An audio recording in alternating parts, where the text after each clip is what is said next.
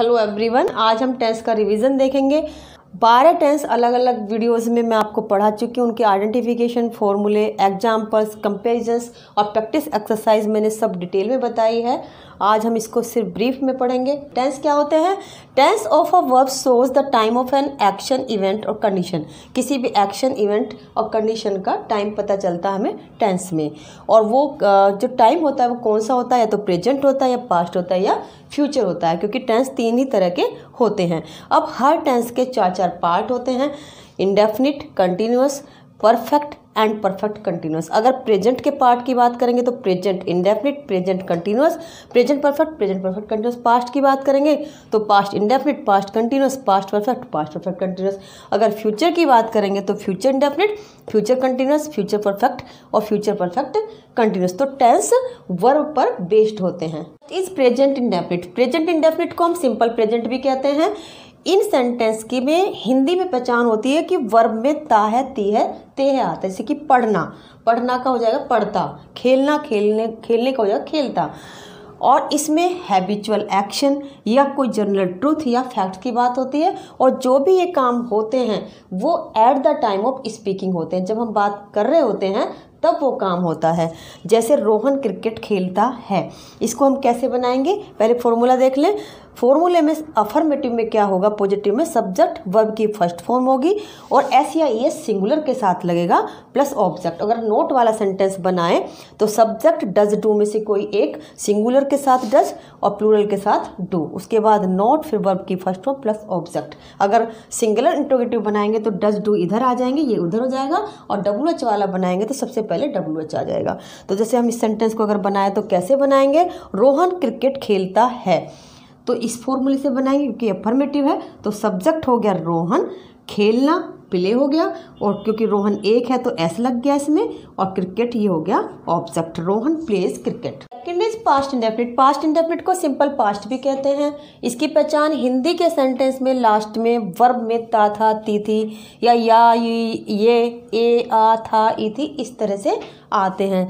जैसे रोहन ने कल क्रिकेट खेला तो यहाँ पे आ रोहन क्रिकेट खेलता था, ता था। इस तरह के सेंटेंस आते हैं। इसमें कंप्लीटेड एक्शन की बात होती है, जो पास्ट में कंप्लीट हो चुका होता है, उस एक्शन की बात होती है। और जो फॉर्मूला होता है पॉजिटिव का फॉर्मूला फॉर्मेटिव का सब्जेक्ट वर्ब की सेकंड फॉर्म और ऑब्जेक्ट और अगर नेगेटिव की बात करें तो subject did not first form verb की ऑब्जेक्ट अगर सिंगल इंटेगेटिव की बात करें तो डिड सब्जेक्ट नॉट वर्ब की first form object W H वाले की बात करें तो W H did subject not verb की फ़र्स्ट फॉर्म ऑब्जेक्ट अब अब अगर इस सेंटेंस को बनाए, रोहन ने कल क्रिकेट खेला तो ये पॉजिटिव सेंटेंस है तो इस फॉर्मूले से बनेगा। तो सब्जेक्ट हो गया रोहन सेकेंड फॉर्म प्ले की प्लेड और क्रिकेट और कल खेला। बीते हुए कल की बात हो रही है तो yesterday next is future indefinite future indefinite को हम सिंपल फ्यूचर भी कहते हैं। सिंपल फ्यूचर के हिंदी के सेंटेंस की पहचान है कि वर्ब में गागिगे आता है। कैसे? जैसे कि खेलना है तो खेलेगा, खाएगा है, खाना है तो खाएगा, होगा होगे नहीं आएगा। इसका जो फॉर्मूला होता है अफर्मेटिव का सब्जेक्ट प्लस विल शेल में से कोई एक लगाते हैं वर्ब की फ़र्स्ट फॉर्म और ऑब्जेक्ट लगाते हैं। आई वी के साथ शेल लगेगा, बाकी सबके साथ विल लेकिन मॉडर्न इंग्लिश में सबके साथ विल लगाया जाता है। ये कौन से सेंटेंस होते हैं? जिनमें प्लान्स इंटेंशंस या ओपिनियन जो कि फ्यूचर में होंगे, उनकी बात होती है। इसमें किसी भी चीज़ पर कंट्रोल नहीं होता है। जैसे रोहन कल क्रिकेट खेलेगा तो ये खेलना में गा है तो ये सिंपल फ्यूचर है। इसको इस फॉर्मूले से बनाएँगे, Rohan will play cricket tomorrow Rohan कल क्रिकेट खेलेगा। Next is present continuous present continuous को हम प्रेजेंट इम्परफेक्ट या प्रेजेंट प्रोग्रेसिव भी कहते हैं। हिंदी के सेंटेंस में इनकी पहचान है कि सेंटेंस के लास्ट में रहा है रहे है रही है, ये सब आता है। और इसमें अनफिनिश्ड एक्शन की बात होती है। जो एक्शन फिनिश नहीं हुआ है, या चेंजेस या टेम्प्रेरी एक्टिविटीज़ की बात होती है, और ये सब at the time of speaking चल रहा होता है। जैसे रोहन क्रिकेट खेल रहा है। इसमें रहा आया है लास्ट में तो ये प्रेजेंट इम्परफेक्ट या प्रेजेंट कंटिन्यूस है।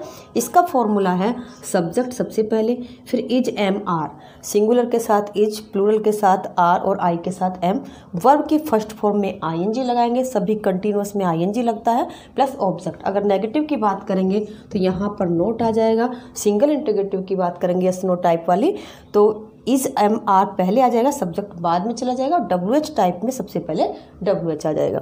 रोहन क्रिकेट खेल रहा है, ये एक अफर्मेटिव सेंटेंस है, इससे बनाएँगे तो रोहन सब्जेक्ट हो गया, इज़ आ गया एक इनमें से, प्ले और आई एन जी लग गया वर्ब की फ़र्स्ट फॉर्म में, और ये हो गया क्रिकेट ऑब्जेक्ट। तो Ram is Rohan is playing cricket next है पास्ट कंटिन्यूस पास्ट कंटिन्यूस को हम पास्ट इम्परफेक्ट या पास्ट प्रोग्रेसिव भी कहते हैं।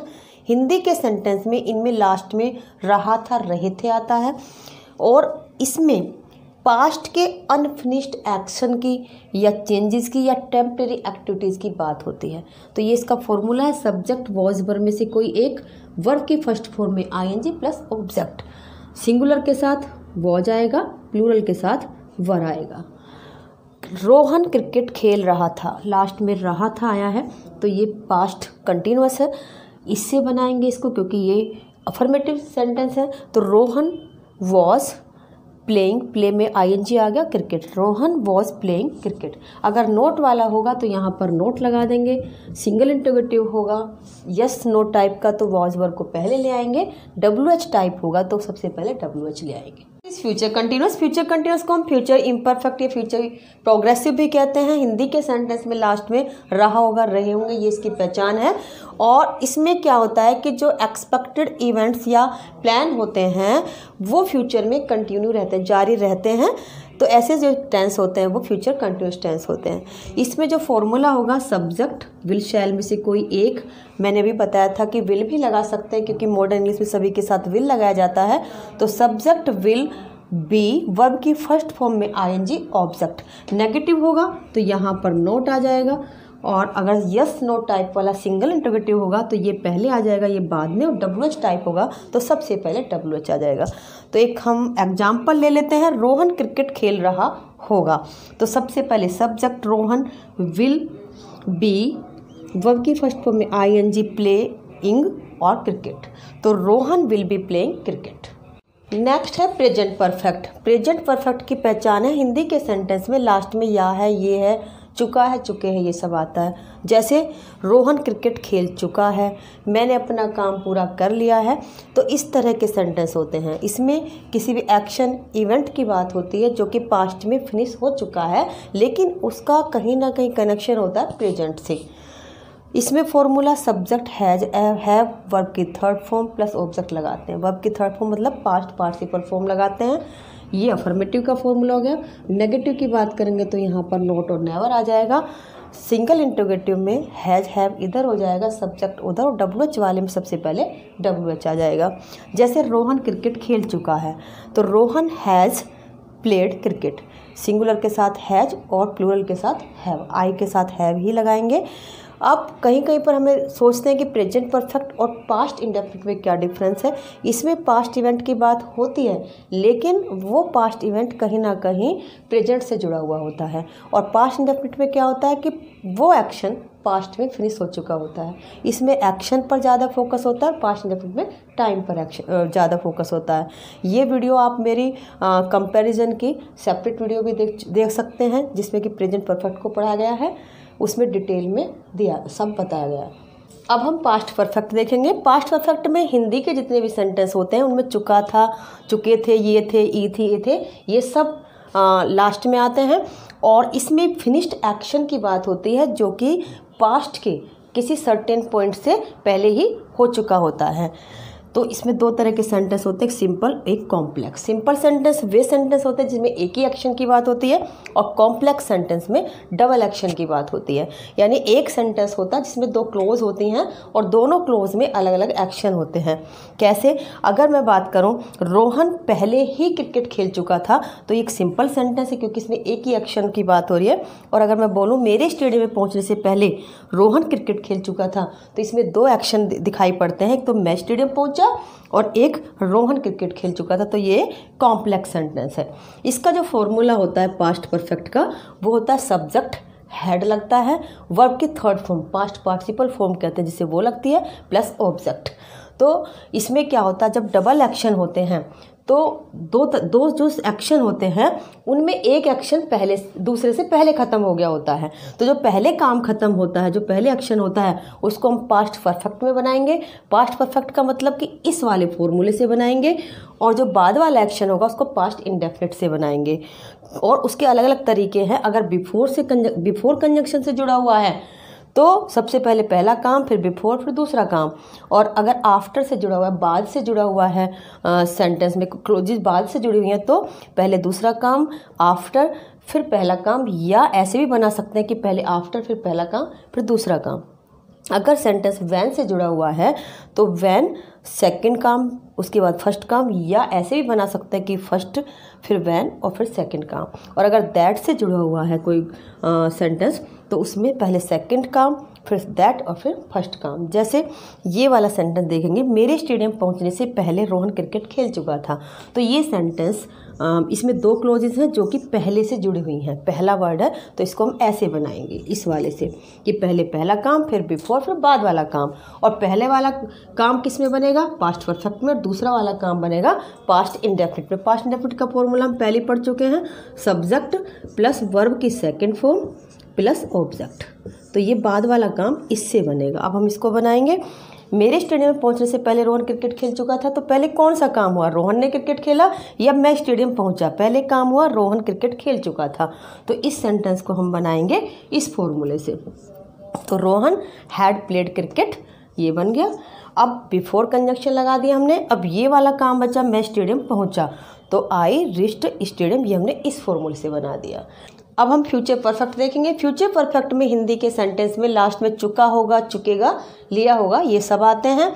इसमें कोई भी एक्शन की बात होती है जो फ्यूचर में किसी certain of point of time तक पूरा होगा। फॉर्मूला देखेंगे। सब्जेक्ट विल शैल में से कोई एक, सभी के साथ विल भी लगा सकते हैं। यहाँ पर हैव उसके बाद थर्ड उसके फॉर्म उसके बाद ऑब्जेक्ट नेगेटिव होगा तो थर्ड नंबर पे यहाँ पे नोट आ जाएगा। इसमें भी सिंपल होते हैं और कॉम्प्लेक्स होते हैं। सिंपल सेंटेंस वही जिसमें एक ही एक्शन होता है और कॉम्प्लेक्स में दो एक्शन की बात होती है। जो कॉम्प्लेक्स में दो एक्शन दिए हुए होते हैं, उनमें से एक पहले होता है, एक दूसरे बाद में होता है। तो उस पहले एक्शन को, जो काम पहले होता है, उसको फ्यूचर परफेक्ट में बनाते हैं और जो काम बाद में होता है, उसको प्रेजेंट इंडेफिनिट में बनाते हैं। फ्यूचर परफेक्ट का यही वाला फॉर्मूला यूज़ करेंगे और प्रेजेंट इंडेफिनिट के लिए पहले भी मैंने बताया, सब्जेक्ट प्लस वर्ब की फ़र्स्ट फॉर्म में एस या एस अगर सिंगुलर है प्लस ऑब्जेक्ट इस फॉर्मूले से बनाएँगे। इसमें जो सेंटेंस होते हैं या तो बिफोर से जुड़े हुए होंगे या वैन से जुड़े होंगे। अगर बिफोर कंजंक्शन आता है तो उसमें पहले पहला काम फिर बिफोर फिर दूसरा काम बनाएँगे।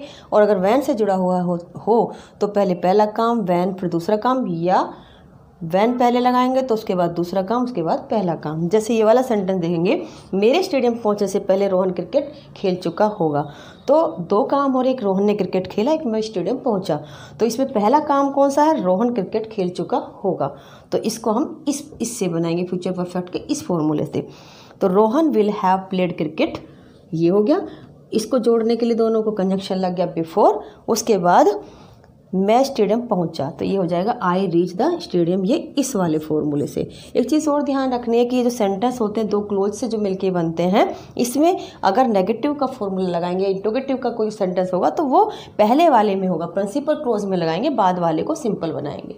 Next is present perfect continuous इनमें हिंदी के जो सेंटेंस होते हैं, उनमें लास्ट में ता रहा है, ते रहे हैं आता है, या रहा है, रहे आता है टाइम दिया हुआ होता है। जैसे हम देखें सेंटेंस महेंद्र सिंह धोनी 2010 से खेलते रहे हैं या 2010 से खेल रहे हैं तो उसमें टाइम दे रखा है। इस तरह के जो सेंटेंस होते हैं, वो प्रेजेंट परफेक्ट कंटिन्यूस होते हैं। प्रेजेंट कंटिन्यूस में क्या होता है? सिर्फ़ रहा रहे आता है और टाइम नहीं दिया हुआ होता है।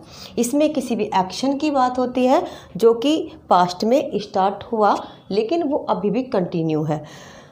इसका फॉर्मूला देखें तो अफर्मेटिव का सब्जेक्ट हैज़ हैव में से कोई एक आएगा। सिंगुलर के साथ हैज़ प्लूरल के साथ है आई के साथ है। बीन वर्ब की फ़र्स्ट फॉर्म में I N G object since या फोर में से कोई एक आएगा और टाइम आएगा। सिंस फोर कब आते हैं? सिंस आता है पॉइंट ऑफ़ टाइम के लिए, जब टाइम फिक्स दिया हुआ हो एग्जैक्ट टाइम के लिए। और जो फोर आता है, वो पीरियड ऑफ़ टाइम के लिए। जैसे हम अगर कहें कि दो बजे से चार बजे से सुबह से शाम से तो सिंस लगाएँगे। अगर कहें दो घंटे से चार घंटे से चार साल से तो हम फोर लगाएँगे। अब हम इस एग्ज़ाम्पल को देख लेते हैं। रोहन दो बजे से क्रिकेट खेल रहा है। तो ये दो बजे से इसमें टाइम दे रखा है। पहले हम इतना बनाएँगे। Rohan has been playing cricket ये बना दिया। उसके बाद यहाँ पर से के लिए हमने सिंस फोर लगाना है। तो दो बजे, क्योंकि फिक्स टाइम दे रखा है एग्जैक्ट टाइम है तो हम सिंस लगाएँगे टू ओ क्लॉक अब हम बात करेंगे पास्ट परफेक्ट कंटिन्यूस की। पास्ट परफेक्ट कंटिन्यूस में हिंदी के सेंटेंस में लास्ट में ता रहा था ते रहते रहा रहते, ये सब आता है टाइम आता। बिल्कुल प्रेजेंट परफेक्ट कंटिन्यूस की तरह ही है, बस इसमें था आ गया है। तो इसमें जो एक्शन होता है, उस एक्शन की बात होती है जो पास्ट में शुरू हुआ। कुछ टाइम पास्ट में ही वो चला और ख़त्म भी पास्ट में ही हो गया। इसका फॉर्मूला सब्जेक्ट हैड आएगा सभी के साथ इसमें बीन वर्ब की फ़र्स्ट फॉर्म में। I N G object since for आएगा और टाइम सिंस फोर वही जो मैंने अभी आपको बताया पॉइंट ऑफ़ टाइम जो एग्जैक्ट टाइम है उसके लिए सिंस और पीरियड ऑफ़ टाइम के लिए फोर आएगा। जैसे हम इस सेंटेंस को देखें, रोहन दो बजे से क्रिकेट खेल रहा था तो Rohan had been playing cricket और सिंस आएगा वही पॉइंट ऑफ़ टाइम है और two o'clock Rohan had been playing cricket since two o'clock last is future perfect continuous ये बहुत कम यूज़ होता है, लेकिन होता है तो पढ़ना तो पड़ेगा ही। इसमें हिंदी के सेंटेंस में ता रहेगा, ते रहेंगे, रहेगा, रहा होगा, ये सब प्लस टाइम आता है। इसमें कोई भी एक्शन फ्यूचर में स्टार्ट होगा और एंड भी फ्यूचर में ही कहीं सर्टेन पॉइंट पर हो जाएगा। फॉर्मूला है सब्जेक्ट विल शैल में से कोई एक हैव बीन वर्ब की फ़र्स्ट फॉर्म में आएँगी object since for plus time will आ, सभी के साथ भी लगा सकते हैं और नहीं तो आई और वी के साथ शेल और बाकी सबके साथ विल लगा सकते हैं। सिंस ऑफ़ फोर मैंने आपको भी बताया। सिंस पॉइंट ऑफ़ टाइम के लिए फोर पीरियड ऑफ़ टाइम के लिए लगेगा। जैसे अगर हम एक सेंटेंस देखें 20 मार्च तक रोहन को क्रिकेट खेलते हुए चार महीने हो जाएँगे।